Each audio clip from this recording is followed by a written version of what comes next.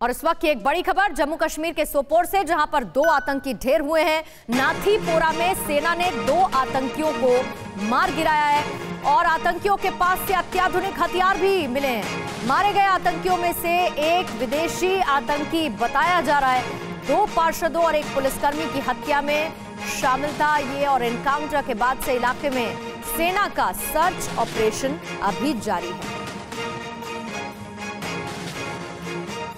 अड़ी।